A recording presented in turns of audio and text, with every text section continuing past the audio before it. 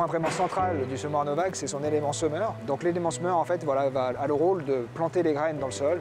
Donc pour ça, donc, il a un disque euh, central qui tourne et qui permet en fait de trancher tout ce qui est végétation, d'amorcer en fait un sillon qui ensuite est formé donc euh, par une pièce qu'on appelle la demi-dent et qui du coup euh, voilà, forme en fait un sillon en forme de T inversé, soulève une lamelle de terre et la graine, la graine sort ici en fait, sort sous la dent. On a à l'arrière des roues qui viennent refermer en fait le sillon pour que ce soit vraiment une sorte de fermeture éclair et qu'on fasse très très très peu de perturbations et qu'on mette la graine vraiment dans un sillon euh, idéal à la bonne profondeur. Une machine agricole spécifique pour la pratique du semi-direct. Conçue et assemblée à Fressines, à l'est de Niort, dans les Deux-Sèvres, Novak a vendu l'intégralité de sa production à l'export en 2020. Vous allez découvrir les coulisses de cette entreprise, pourquoi des équipements de pointe séduisent les agriculteurs du monde entier. Réponse dans ce nouveau numéro de mode d'emploi.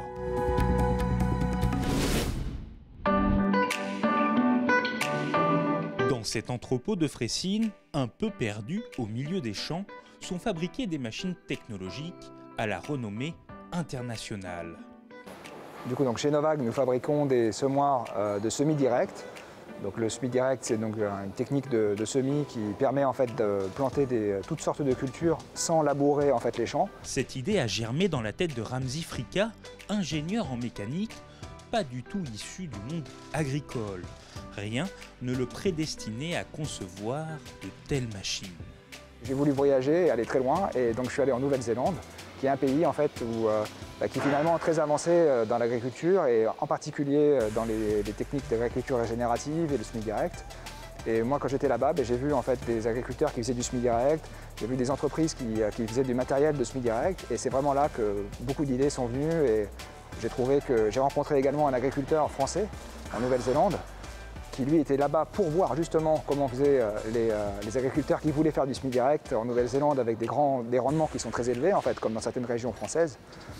Et c'est comme ça en fait que voilà, en rentrant euh, en France, on s'est dit qu'on allait produire nos, nos, propres machines pour la France et puis après finalement pour l'Europe et puis maintenant on exporte beaucoup en Australie et en Nouvelle-Zélande. Novag, c'est aussi une histoire de famille. Sans le soutien de son père, Ramzi Frika n'aurait pas pu se lancer il y a 9 ans maintenant, en 2011. J'ai été convaincu par son projet, j'ai été vite embarqué dans ce, projet-là. Embarqué financièrement aussi, parce qu'il fallait quand même apporter quelques sous au début euh, pour que l'entreprise démarre. Direction, le cœur de l'entreprise, l'atelier. Nous assemblons les machines ici. On a ici en cours de montage à, 4,50 m. Euh, donc euh, le montage n'est pas terminé. On est en partie centrale. Sur le côté, on voit les ailes ce qu'on appelle nous les ailes, qui vont après recevoir du coup les éléments semeurs. Une gamme de produits très variée, des semoirs de 1,20 m à 9 m de largeur avec des pièces réalisées par des sous-traitants situés dans un rayon de 2 heures autour de l'entreprise. C'est aussi ça, la proximité. À peu près 90% en fait de nos pièces qui sont achetées en France et on a à peu près une soixantaine de, fournisseurs différents. Euh, voilà, donc on achète de la plus petite pièce, de la visserie, euh, jusqu'au gros châssis que vous voyez là. Pour assembler ces machines, un salarié met en moyenne un mois.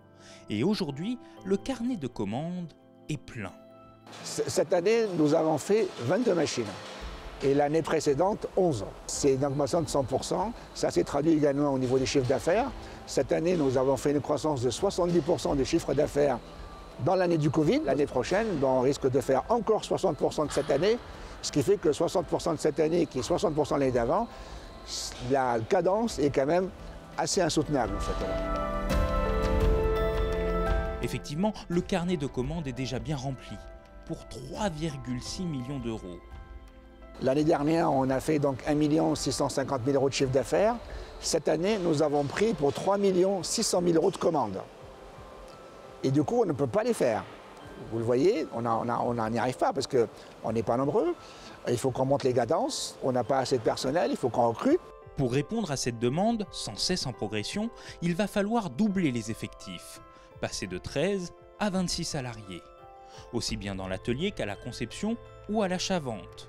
Cette année, toutes les machines ont été produites pour l'export. Ces semoirs prennent la direction de l'Allemagne, des pays de l'Est de l'Europe, de la Russie, du Royaume-Uni, de l'Australie, de la Nouvelle-Zélande ou encore du Canada. Cette année, nous avons fait 100% export. Depuis 2012 jusqu'en 2020, nous avons vendu 10 machines en France. La France va donc être le prochain marché à conquérir, comme le soulignent, non sans ironie, les dirigeants de l'entreprise. 2021 sera l'année de l'export, mais en France. Voilà leur objectif, espérer vendre à proximité. Et pourtant, certains agriculteurs ont été convaincus de ce projet fou. Jean-Paul Roux, agriculteur à quelques kilomètres de là, en Vendée dans la baie de l'Aiguillon, a pris le pari de ce semoir. Et pourtant, il n'existait pas encore, c'était en 2011, Ramsey et Loftifrica l'avaient rencontré seulement avec des plans. Aujourd'hui, il ne regrette aucunement son choix. Et ça fait dix ans que je l'utilise de plus en plus, puisque on s'aperçoit que sans labourer, sans retourner les sols, on a la matière organique qui, euh, reste en surface et qui devient intéressante pour les cultures, euh, puisque moi j'ai multiplié par deux mon taux de matière organique dans mes sols depuis que j'utilise le semoir Novac. Ce semoir, il sème tout en fait. Euh, il sème euh, de la céréale, il sème du maïs, il sème du tournesol, il sème des, petites graines euh, aussi, les, graines, pour faire les couverts végétaux euh, comme la luzerne ou, des, des graminées. Selon Jean-Paul Roux, Novak remplit le rôle de cinq machines agricoles. Convaincu, l'agriculteur s'est investi dans l'entreprise et a même pris des parts.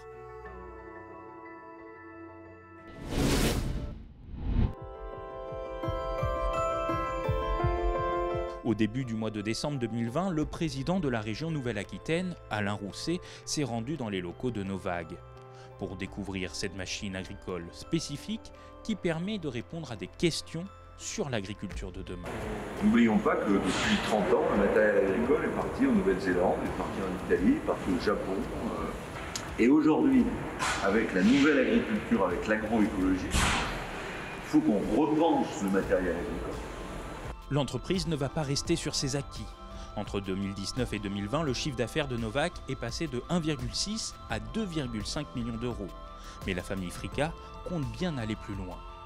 2021, c'est encore l'accroissement de l'activité, c'est encore donc un petit facteur à 60 à 70% de plus. Notre objectif, c'est d'arriver à 10 millions d'euros de chiffre d'affaires dans 4 ans. Mais je pense qu'on va y arriver, tout simplement parce que le marché le demande, de fait. Voilà. Aujourd'hui, nos clients, quand ils nous passent des commandes, comme délai de livraison, ils disent dès que vous pouvez, au fait. Novag veut conserver l'exclusivité de cette technologie de pointe unique et devenir ainsi le leader mondial du semoir en semi-direct.